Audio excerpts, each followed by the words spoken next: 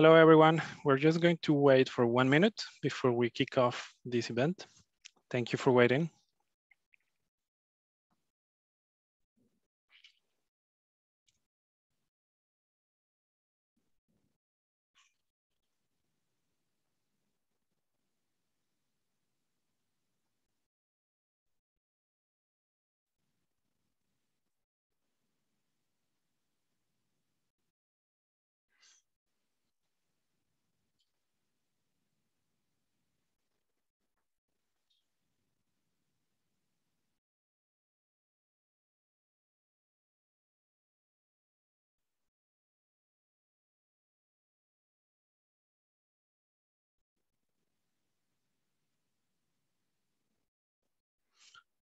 All right, um, I think we can start now. We can begin. So thank you everyone for joining us today. Uh, my name is David Leal Ayala. I'm the deputy head of the Policy Links unit here in Cambridge. And today we will be doing two things. First, I will be presenting some of our recent work, uh, looking at how innovation policy programs might help to diversification, recovery, and growth after the COVID-19 pandemic in small island states followed by a discussion the realities of implementing innovation policy programs in the Caribbean. And for this discussion, we are delighted to be joined today by doc Dr. Kieron Swift. Uh, Kieron is a seasoned development consultant and innovation policy specialist. His experience ranges across the public, private, and academic sectors in the domains of science, technology, and innovation policy.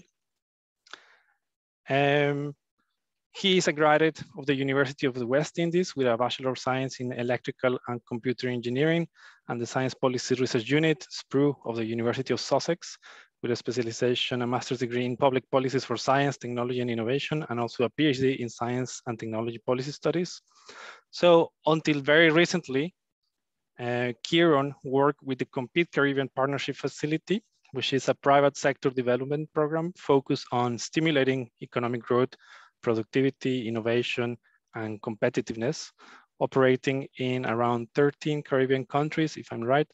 And Compete Caribbean is a partnership among the IDB, the Inter-American Development Bank, uh, the Caribbean Development Bank, and the governments of the UK and Canada. So here in Compete, Kieron led the identification, design, project preparation, and management of a portfolio of technical assistance projects in the region.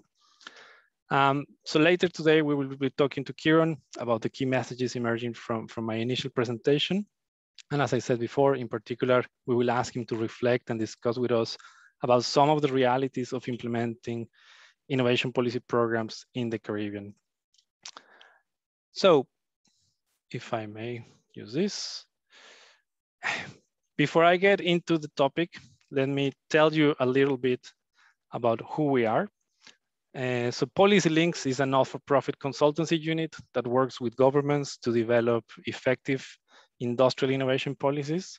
We are based at IFM Engage, the knowledge transfer arm of the Institute for Manufacturing in Cambridge University, which is where I'm located at the moment. And we are really a, a, team of engineers, economists, and political scientists with a shared passion for big policy problems and solutions, of course. And our work combines both the study of academic insights and the analysis of policy implementation in countries around the world.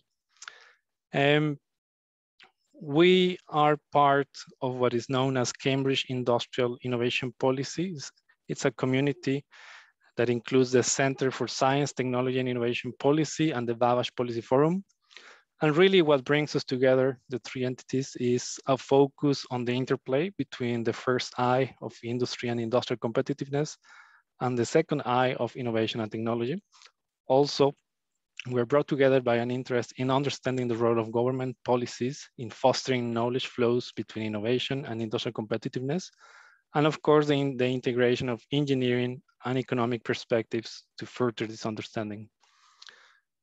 So for today's session, uh, we have divided this session into two parts. As I said before, I will start by setting the scene, talking about um, three projects that we have done in collaboration with the Inter-American Development Bank and Compete Caribbean. And after this, we will have a discussion with Kieron on the realities of implementing innovation policy programs in the Caribbean and potential strategies to overcome common challenges. So during the discussion, we will be answering some of your pre-submitted questions, but also feel free to use the, the Q&A menu here in, in Zoom to ask new questions and we will try to incorporate them into the discussion. So now, if I may start with the, with the first part of this session, the, my presentation before we get into the discussion. So to kick off today, I will now talk a little bit, as I said, about three recent projects we have done with the Inter-American Development Bank and Compete Caribbean, which were aimed at designing specific innovation policy programs for three countries in particular, Trinidad and Tobago, Jamaica, and St. Lucia, and the common challenges that we have observed when moving from design to the implementation of these programs. Um, as you can see from this slide, the titles of these three projects are Centers of Excellence for Trinidad and Tobago, support to Jamaica's innovation system for promoting innovative firms, and technical assistance to implement the national competitiveness agenda for, of St. Lucia. So after working on all three projects, we have identified some common drivers for action among these countries, and in particular, some, some common features in these countries. Um, in particular, they usually have a narrow production base which leads also to an undiversified economy. They have, they tend to have concentrated export and import markets, also a relatively higher vulnerability to natural disasters and the impact of climate change, because obviously these are islands in the Caribbean. Um, they have, they tend to have a reduced R&D activity in the private sector. Also, you can say that their national innovation systems are at an early stage of development. And in particular, this is evidenced by having a slightly more fragmented governance in these national innovation systems when compared to other countries. And also something that, that we observe in common is perhaps that the tertiary, tertiary education attainment tends to be below the OECD average.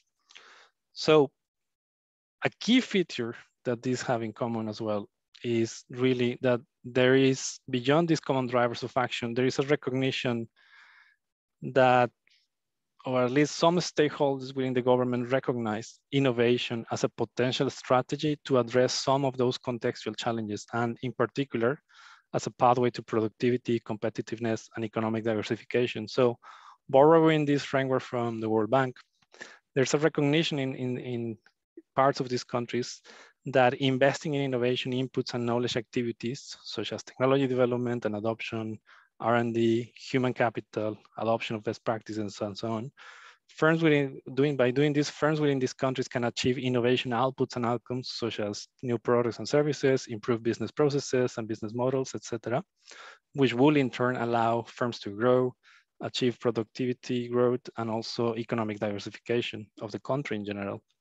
So this is in general the purpose of innovations of innovation policies, as we will see in the next slides. Now, when working on these um, on these countries or when supporting these countries in the design of detailed innovation policy programs, we have really made an effort to adapt this to the local context. And to do that, we have followed the approach outline, outlined here. First of all, we strongly believe that nobody knows more about the local context or the local context needs that than local stakeholders. And therefore, all of our work here in the Caribbean has been underpinned by very broad consultation exercises, uh, either through interviews, roundtable discussions, role mapping workshops or surveys, and so on. We really believe that it is difficult for an external consultant to understand the local context without this element. Having said all this, we also believe that there are very useful lessons that can be acquired from international experience when designing new programs for specific countries and therefore, we often conduct very comprehensive reviews of best practices around the world. And we aim to adapt these lessons learned to the local context. And thirdly, obviously being part of, of Cambridge Industrial Innovation Policy Community and, and being at the University of Cambridge, we base all our recommendations and work on the latest academic theory and frameworks, including, for example, National Innovation Systems Theory, Development Economics, and General Innovation Policy Theory. So taking all this into consideration, uh, let me briefly explain the key initiatives that we propose and design together with the Inter-American Development Bank and Compete Caribbean for each specific country. So the first country I want to talk to you about is Jamaica.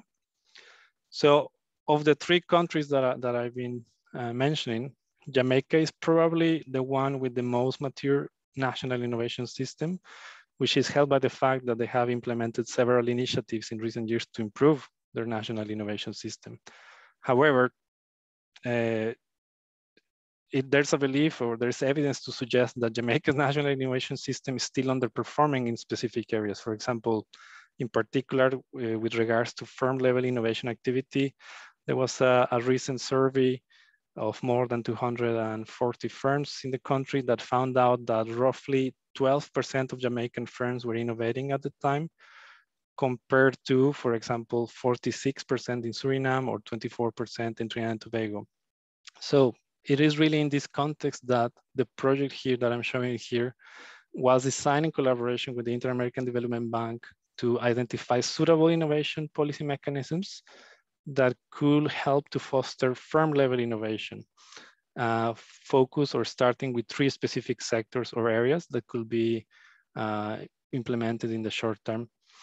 Um, as you can see in the slide, the three areas of intervention were support for the digital transformation of existing sectors through a digital technology advisory service and innovation voucher, and support to the development of a fintech ecosystem by establishing an incubator accelerator program for fintech solutions, and support to develop high value agricultural products through the creation of uh, what we call a food cosmetics innovation center that could complement existing initiatives in the country.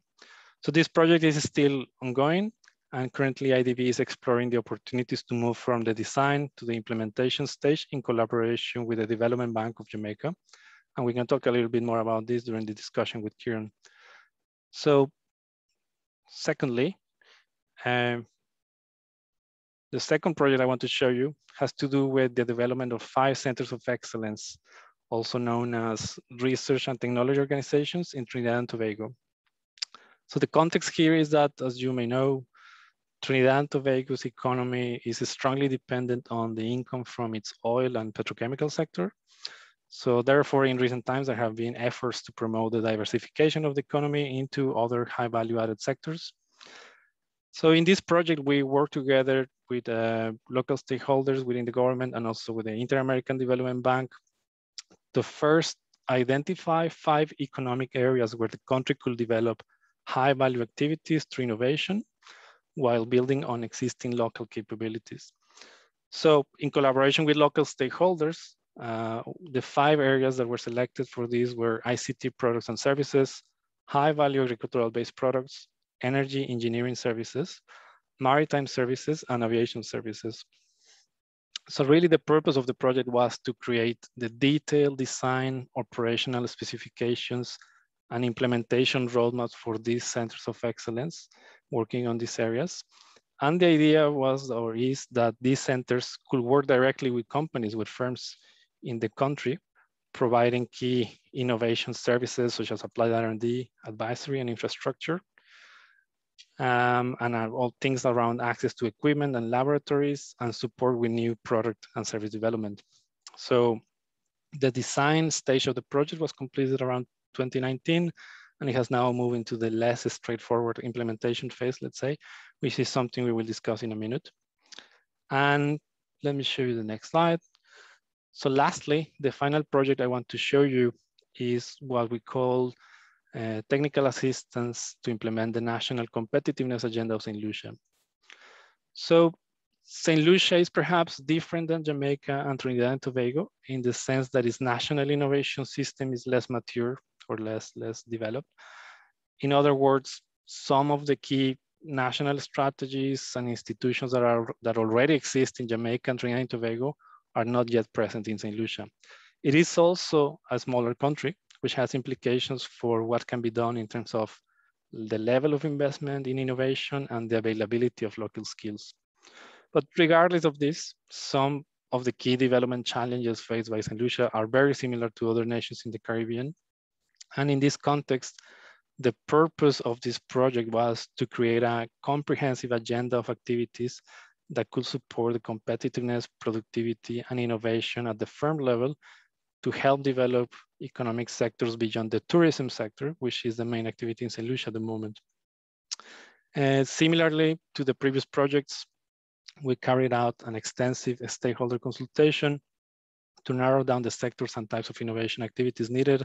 And after selecting a few of them for implementation in the short term, we created detailed specifications and implementation roadmaps that could be followed by local stakeholders in charge of future implementation.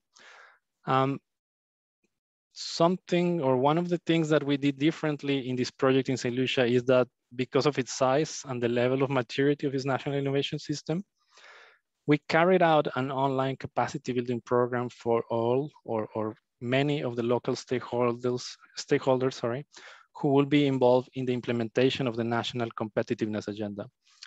So this was actually a very success, successful program with a high participation.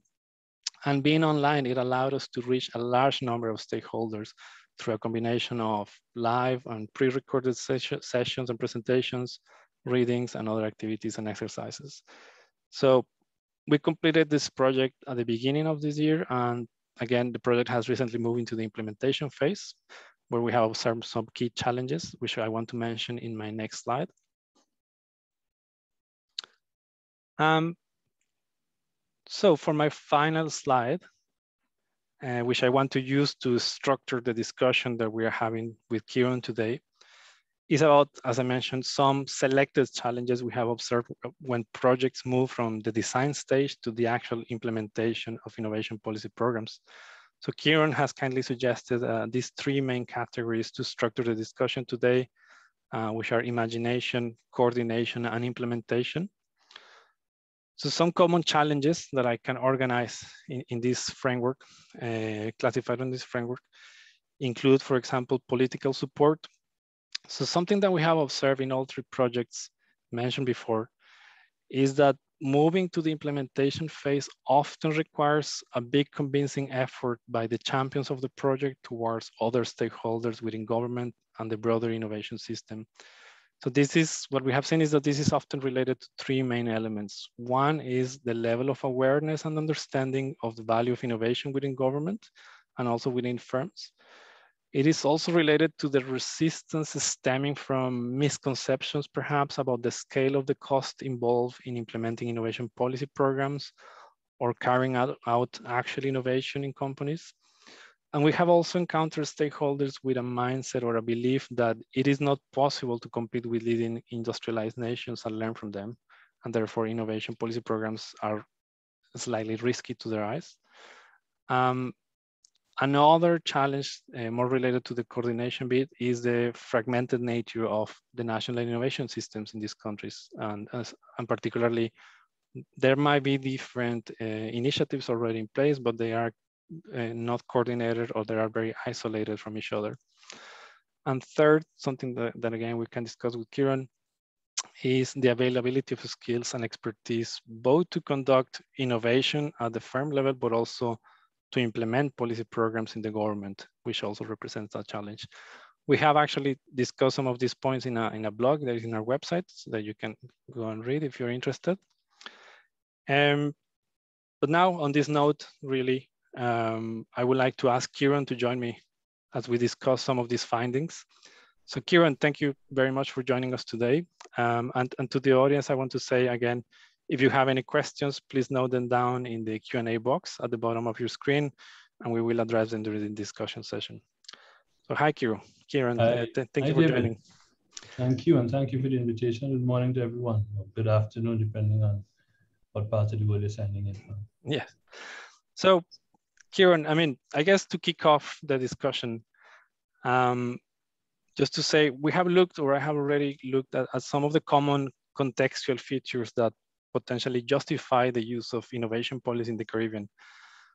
Now, we're going through a, a big pandemic in the COVID-19 crisis. So in the context of this COVID-19 crisis and the impact uh, that it may have had on these countries, um, I wanted to ask you, what is your perspective on the main challenges ahead. Obviously, we know that there were challenges before COVID, but what are the, the main challenges ahead considering this crisis?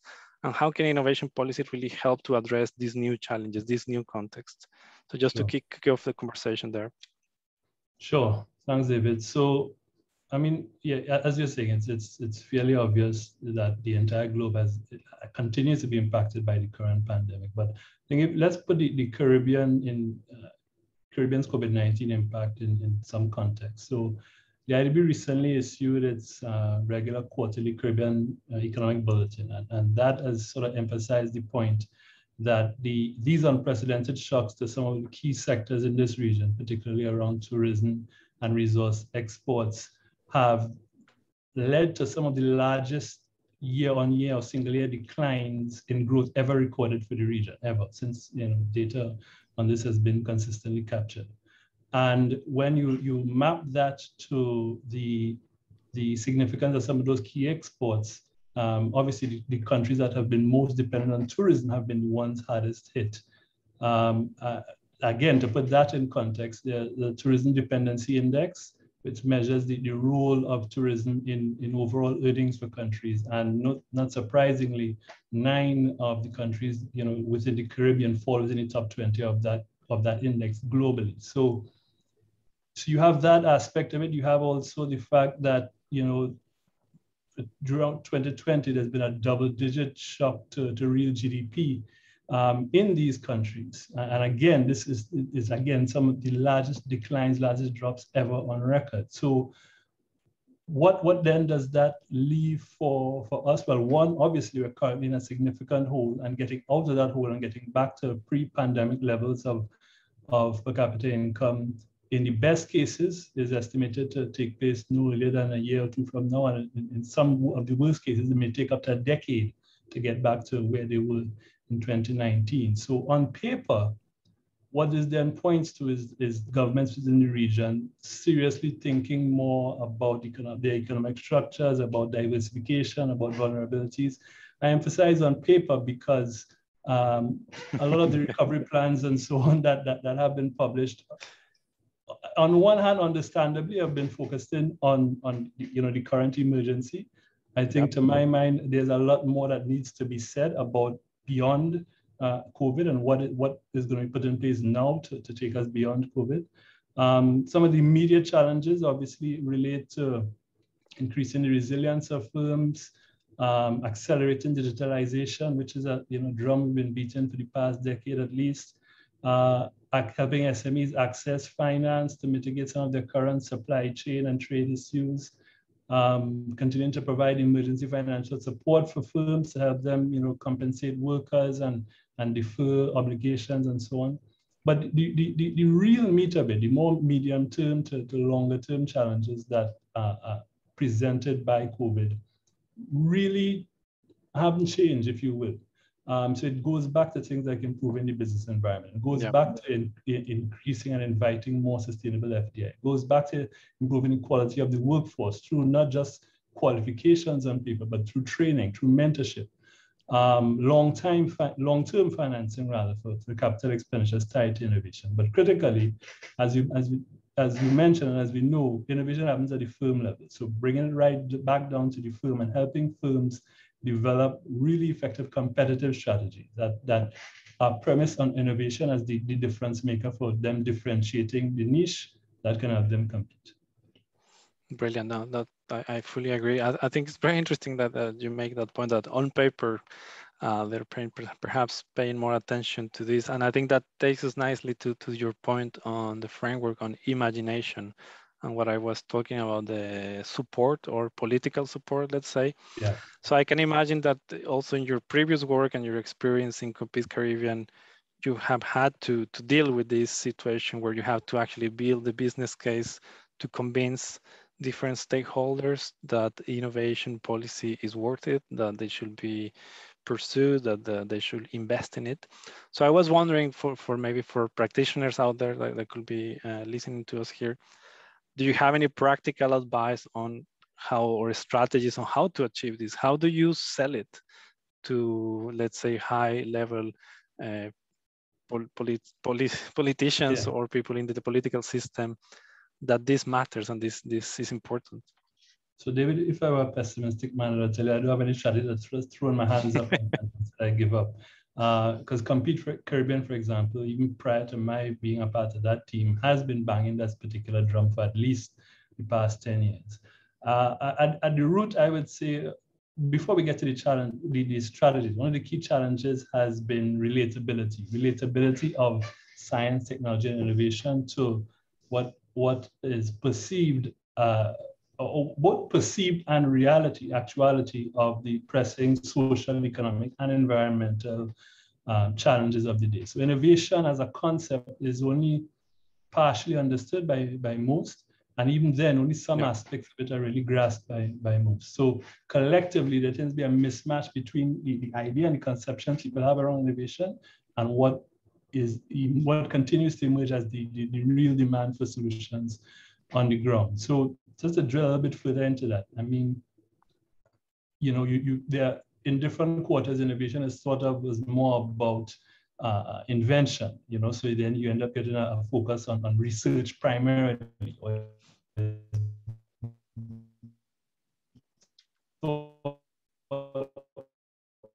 more about creating new firms, right? Or or more about culture change. You get a lot of focus on, on educational type efforts and, and promotional type efforts and so on, or even more about IP. It's all about IP, intellectual property, and so on.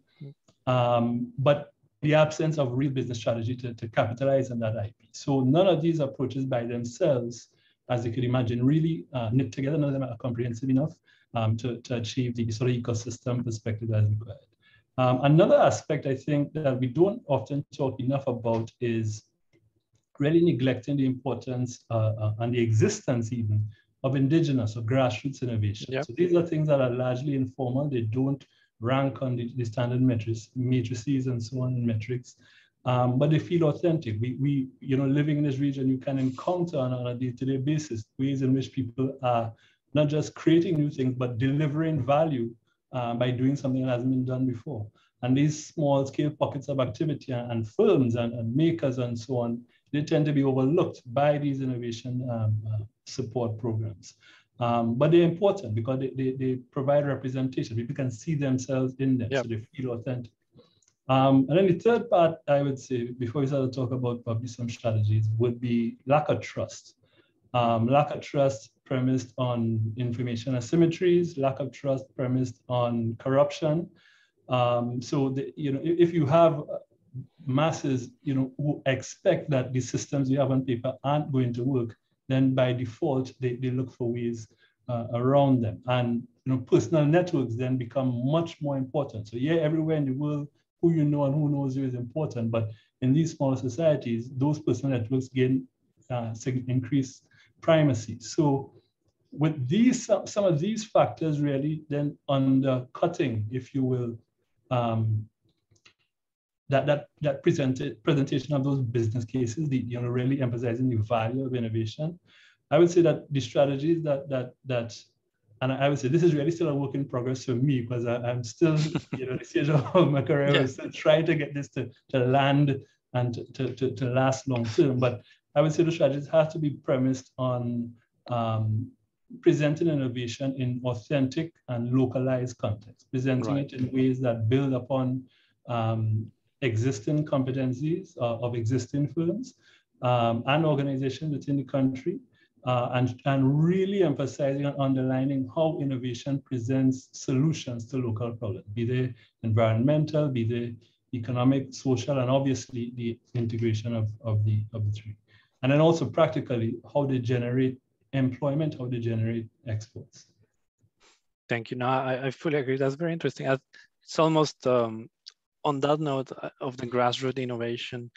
I was wondering if there are any particular examples of, let's say, bottom-up approach or, or, innovation policy, kind of uh, perhaps in Trinidad. Where have you seen any examples of grassroots innovation becoming so prominent or so important that it has to be supported that it gets a particular attracts attention enough or develops enough critical mass that it has to become uh, or it has to be supported by government or perhaps uh, you know strategies need to be de developed around it is that something that happened I, would actually redirect that because the example that comes to mind isn't something that that was able to grow based on support from government, just the, the, the nature of it. So there's a, a, a, I was about to say local, now a regional mm. Uh, fintech firm, WiPay, right? It originated out of Trinidad, but now headquartered in Jamaica. The reason why they moved is a story for a different day.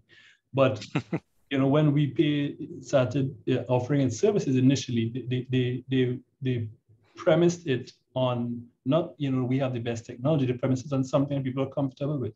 People are comfortable going to the lotto booth and purchasing, you know, a ticket and so on. So that modality was what we first started with, and people, you know, a lot of people to, to purchase a, a top up um, that they could then use online. So we get a slip of paper that they could then use online to make online purchases. So recognizing you had a significant un, unbanked and underbanked um, proportion of society, less than 20% or so having credit cards.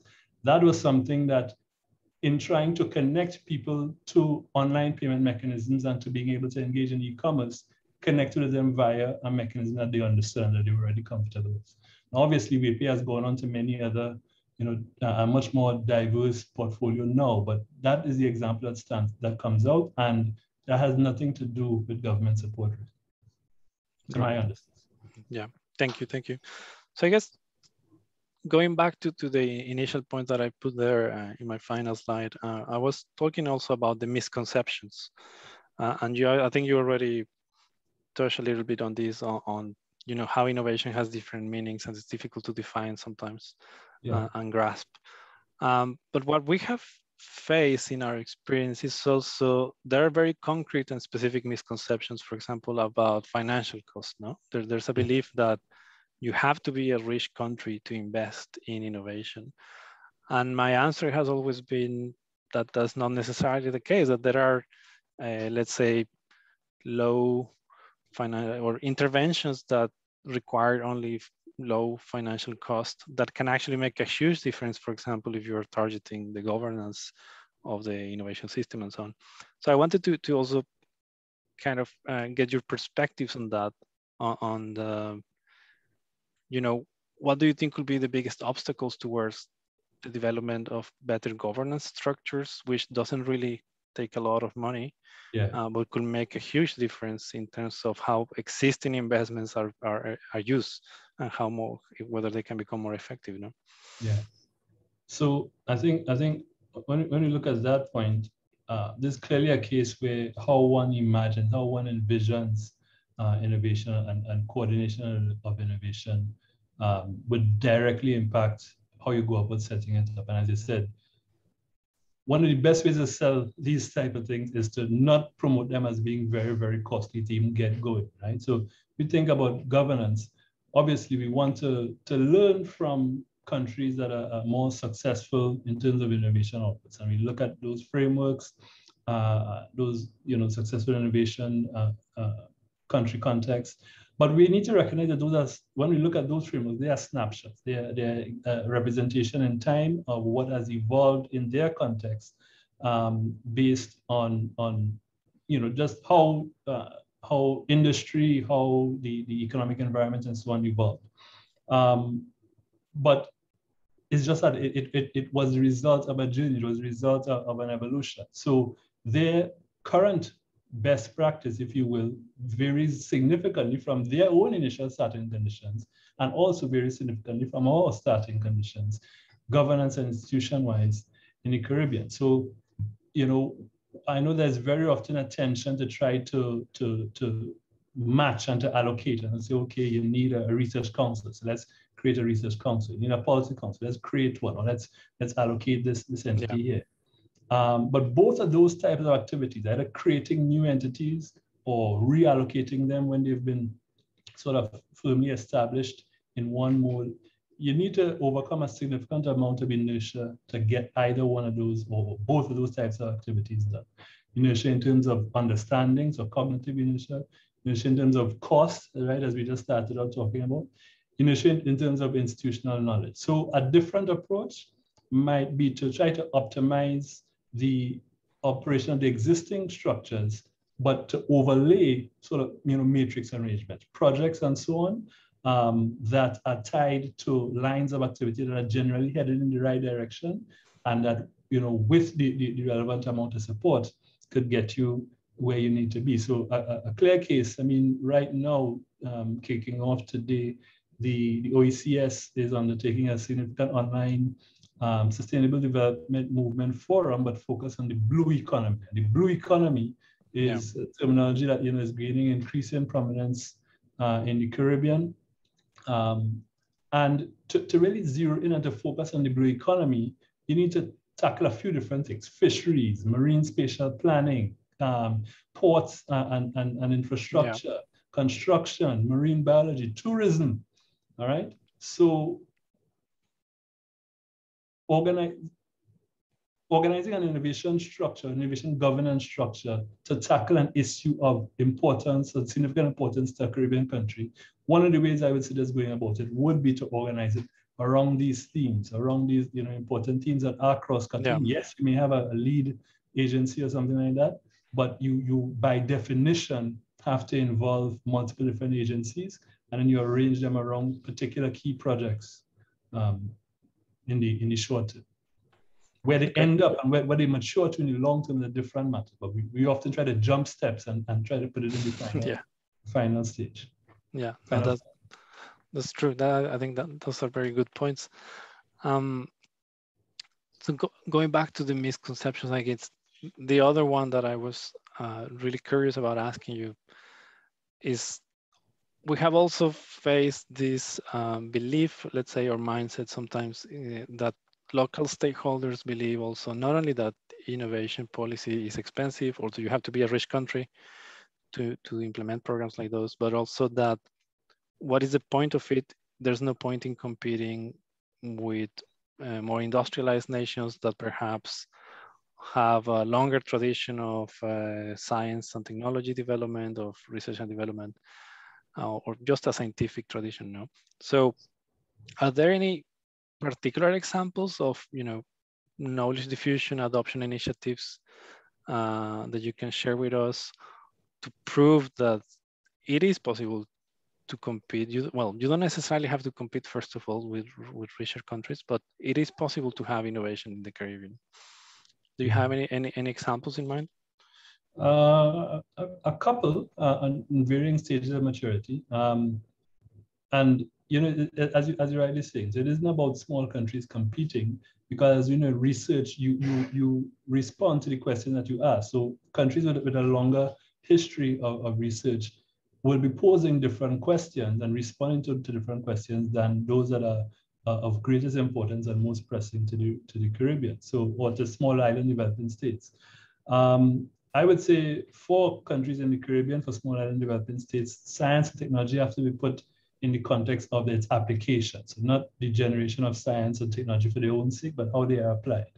And from that standpoint, you know, the research and technological organizations and tech transfer offices um, play a significant role in knowledge diffusion and, and knowledge adoption. So I'm drawing some examples here, some specific examples from Trinidad and Tobago, just because those are the ones that come yeah. first uh, top to mind. CARIRI, yeah. uh, Caribbean Industrial Research Institute, has been long been an important fixture um, in the industrial space, starting, you know, and based in offering testing and analytical services, but in the past, you know, within the past decade, building out a whole center for enterprise development. We're focusing more on incubation and partnership with an ICT center with Microsoft and offering innovation advisory services. Um, UWI's Tech Transfer Office recently reconfigured itself from an office of research, knowledge and uh, uh, research development and knowledge transfer to now a center for innovation and entrepreneurship. So it now really doubles down and emphasizes its role in helping researchers commercialize their research, fund it, and protect it. And while at the same time, it presents itself as a focal point for industry to access the technology and expertise that exists within the university.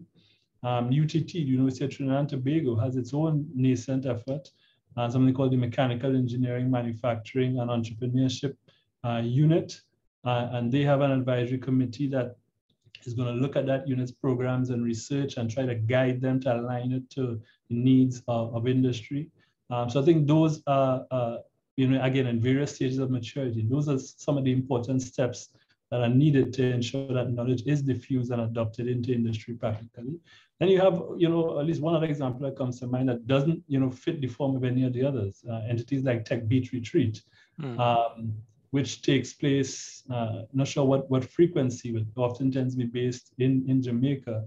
And how they build themselves is that they aim to connect the Caribbean's tech or digital ecosystem. So they, they very often attract some some of the largest players in tech world. So your Googles, your Facebooks, yeah. you know, your Twitters and so on, and allow firms in that space in this region to, to interact with senior executives on those firms. So those are a, a different mechanisms that are in play right now within the region to facilitate knowledge diffusion. No, thank you. That that's great, and particularly uh, I had the experience of visiting CARIRI, and I completely agree. I mean, I think it's a fantastic organization, a great example of uh, innovation in Trinidad. So just to finish on that point of misconceptions, the last one that that I remember also from our experience has to do with there's sometimes this belief that you cannot really learn or take lessons from more industrialized countries because the the context of small island states in the Caribbean is very different, or at, or at least some people, that's what they often tell us now. Uh, and as I said, for us, in our perspective, international experience, lessons from that is very important, actually, even if it's to tailor and to adapt some of those lessons to, to the particular context of each country. So I was wondering, in your experience working with practitioners across different countries, I mean, how can practitioners from development organizations in particular work with local stakeholders to adapt international lessons, no? Because people from, for example, the IDB, etc., they work across many countries. So is are there is there any particular approach in your experience that works on that? Yeah. So I think it the experiences that work are premised on on on really getting the idea that that adaptation of lessons learned isn't a, a unidirectional process. It isn't just you know you download and you get the answer and you go off and implement. Um, as, as you said, context is, is essential and lessons learned anywhere else need to be met with, with knowledge that is local. So let me, let me give a specific example, right? So uh, at, at, at heart, I am a Tennessee recovering engineer. So back in my days of hardcore engineering and writing code, uh, you know, anyone who's done any kind of coding, you would be familiar with, with both the concept of but the website Stack Overflow. So anytime you run into a problem with coding and so on, you know you can go to Stack Overflow and get a response. But the thing is, if you haven't, if you have no sort of foundation, no sort of experience in coding, you can't go to Stack Overflow and say, okay, I'm just going to get all the answers and create, you know, uh, the, the, next uh, uh, uh, unicorn application, you know, from scratch. It doesn't work like that. You need to have been putting in work um, on your own to then be able to, to engage with what the material is available on a Stack Overflow and, and, and apply it. So similarly, when we, we are seeking to adapt lessons learned in other contexts, we need to both assess the, the substance of the knowledge. So what are the actual questions we're pursuing? You know, you know, dealing with climate change, things like how do we balance the needs for economic diversification and increasing role of services with a need to still build out a, a niche high value manufacturing base um, and to, to pursue climate resistant agriculture. Um, and how do we do all of those things in, a, in an experimental, way, both experiments in the lab, experiments uh, in the firm, experiments in terms of policy. Um, the other thing that I would say is knowledge being cumulative, we need to build on, on what we have and what we have generated in this region. And, and we have had some world-class scholars who have contributed significantly to economic thought about development of this region. People like Arthur Lewis, people like Norman Girvan, Kari Levitt, Lloyd Best, and so on.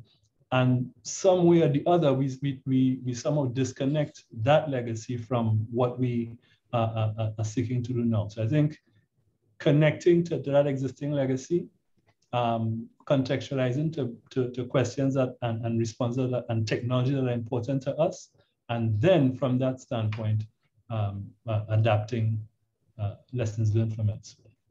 It, it, it, requires the work here. You can't, there's no shortcut to it. Yeah, I fully agree. Um, so I guess that takes us nicely to the next topic in, in the slide that was coordination. Um, as I mentioned during the presentation, you know, the, there tends to be a fragmented nature of the, in the mm-hmm. national innovation systems of countries in the region, particularly in the, in the Caribbean. And this is effectively a, a barrier for coordination of efforts, no? So I wanted to ask you, in your opinion, what are the particular reasons for this, maybe historical reasons for this fragmentation? What may, what is the inertia that needs to be, uh, you know, countered to be able to to solve this issue? And I want to pick on a, on a question from uh, from the audience as well. Uh, there's a question around this topic. Um, it's to say about, uh, hold on. Will Caribbean countries benefit from attempting to coordinate national innovation policies or taking a pan-Caribbean approach to innovation? So yeah, just if you have any particular thoughts sure. or reactions to that. I'll, I'll start with that last one. The short answer is yes. The short answer is, is, is, clearly yes. Um, from a resource standpoint, both intellectual resource, capital, and so on, um, from a, an industrial base standpoint, from a, a, market standpoint, I mean, if you count any individual Caribbean country, not even including the large ones like DR and, and Haiti and so on, if you don't think about in CARICOM terms, um, from any of those standpoints, there is only strength in, in, in adopting a pan-Caribbean approach. Um, but to, the, the question of, of, of fragmentation, um, and perhaps this may add some more meat to that previous part. I'll start with an example. And, and again, you know, apologies for uh, colleagues from across the Caribbean. Um, the examples that, that come freshest to mind, where I've been working across the region, the examples yeah. that come freshest to mind, um, perhaps because the pain is deepest, I don't know, um, are, are, the ones from Trinidad and Tobago. So in, in, in Trinidad and Tobago, you have three entities that uh, uh, that play or at least uh, you know purport to play an important role in the innovation uh, ecosystem. So you have the CARIRI that I mentioned earlier, you have UWI, University of the West Indies, you have NIHERST, right? National Institute of Higher Education, yeah. Research, Science and Technology. So two of these three entities share physical location. Yep. Two others share line ministry. All three of them have specialized skills and specialized expertise that are perceived in many circles as being important to the innovation mission. Yet none of them, at least by my last check, are engaged in any sort of cross-collaborative programs to directly engage the private sector uh, to help stimulate and support firm-level innovation.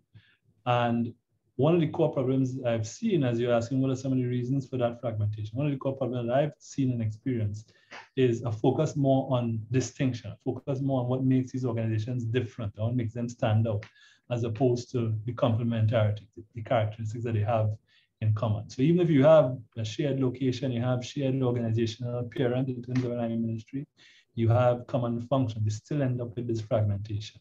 I think what can be done to address it is to, in the development of shared visions for innovation, which as I said earlier, has to be grounded in things that are meaningful and meaty for the country. So not airy fairy kind of conceptions about innovation. You then need to, to really play up um, the agencies that you have in that place within, within an ecosystem play up the interdependencies amongst them, right? They, they play different roles and all the roles are, are, are, are relevant. Uh, and those roles are going to change over time. So if we draw from a history, history lesson, if you not our own history, but history of Singapore, and you look at their innovation trajectory, we know that at different stages of their industrial evolution, different configurations of institutions play different roles. So at one point, EDB and the JTC were they were on the point, right? When the primary focus was on employment generation. And later points in, in their evolution, the Institute of Manufacturing Technology was on point when the focus was on increasing engineering capital intensity. So getting that shared vision for, for what innovation means, whether it is at the, the national level or to the question I was asked at the pan-Caribbean level in very specific terms, doing that inventory of the organization that you have, yes, they are going to need strengthening, but based on their, their current capacities, what roles can they play? Emphasizing the fact that they need to work together, they are interdependent, and um, uh, and you know overlaying then specific programs of activity, right? And and, and uh, I suppose we, are going to get to it really focusing on results and generation of results and measurement yeah. of those results. Yeah, but no, nonetheless, a very big challenge, isn't it? Um, it is. It is. Yeah. It is no, no easy answers here. Exactly. Okay. No, I mean, Thank you very much. And, and just looking at the time, I want to also move to, to the implementation uh, bits of, of, of the slide. I mentioned a little bit about sometimes we found that specific skills and expertise relevant for the implementation of innovation policy programs is sometimes missing or not as, as uh, developed in, in some yeah. of the countries in the region compared to other countries. And that even when there is uh, political support and when there is a will to, to actually do something in terms of creating new programs, this is a potential challenge or a potential barrier. So I, I was wondering if there are any success stories on how to approach capability development for policy implementation in your experience. What are the challenges on this? And also I want to pick again on one, on one question from the audience, which is more targeted uh, to Trinidad and Tobago, but perhaps uh, applies to different countries that it says, um, it seems that the leaders uh, or polit politicians and some leaders in Trinidad sometimes lack uh, specific knowledge and skills in strategy, innovation, um, and that decisions are made more reactively. What do you mm. suggest to address this problem? So I think it's related to this topic on skills, no? Well, uh, so yes and, and, and no, because, well, yes, it is. But the reason I, I emphasize no there as well, because I think uh, uh, seeing, you know, the the question that was posed an emphasis on, on politicians and leaders, that will take us down a, a, different road. Not, you know, we don't yeah. need to go down that road, but let me, let me first focus on, on, you know, within the public sector itself. Um, so building capacity, and, and as you pointed out, within the region, English-speaking region, and Jamaica maybe falls ahead in terms of the maturity of its innovation ecosystem, but there are similar tracks and trajectories if you even look at some of the other countries. Um, and, and even some of the programs that, that, that you all at Policy Links have, have done within the region. So there needs to be that capacity building around the right conceptual framework. So what are the appropriate innovation support programs to design? You know, how uh, do you really assess these specific problems that, that you want to address and then come up with targeted uh, programs to address them? But then also the program management level. How do you acquire funding? How do you get things started and get them producing some level of results, even in the face of the constraints? Um, management with a focus on results. So, you know, emphasizing this, you know, the logic models, everything from the, the inputs right through to the, the long-term expected outcomes. Um, effective program design, that but that ex, that embraces experimentation, right? Because we are talking about innovation. So there isn't a, a standard off-the-shelf answer yeah. you know, to find, even in the policy space In fact, perhaps especially in the policy space. Um, but then related to that, building out structures for managing data and information. So, you know, capturing reports on, on programs in, in progress, um, both qualitatively and, uh, and quantitatively. Um, tabulating those things, visualizing, you know, ensuring that you have people who are trained in, in how to, to manipulate data in, in Excel, from in Python and R and so on. So ensure that you can visualize the, the results of what is taking place in progress at any given point in time to be able to, to show and to tell the story. Because telling the story, even of a work in progress, is, is critical to, to both get that support and to maintain it. Um, taking a different view on failures, you know, and, and yeah. yeah, we, we have unfortunately, sort of historical and cultural views are, that, that look down on failures, but you know, as anyone in the innovation space knows, failures are an essential part of, of future success. So even analyzing the failures alongside the successes. Uh, and really just pushing for more collaboration, particularly amongst firms and between firms. So uh, at Compete, we, we ran a corporate venturing program that sought to uh, set up strategic partnerships between corporations and, and startups, so in some cases SMEs. Um, uh, there's another uh, program called Scale Up TNT that was you know, funded in a, in a pilot mode by Unit Trust Corporation, and that focused on helping peer cohorts of, of SMEs to grow in terms of their sales and, and, and revenues and so on, and to demonstrate that growth quickly. So those are, uh, I would say, in terms of building capacity, but building capacity while doing.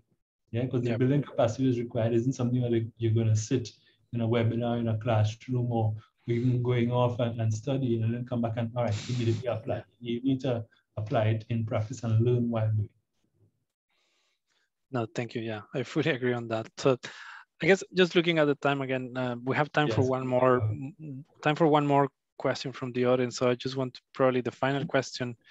Um, there's a question here about does industry need a stronger voice in some Caribbean countries? Are governments tuned into the needs of industry in the realm of innovation?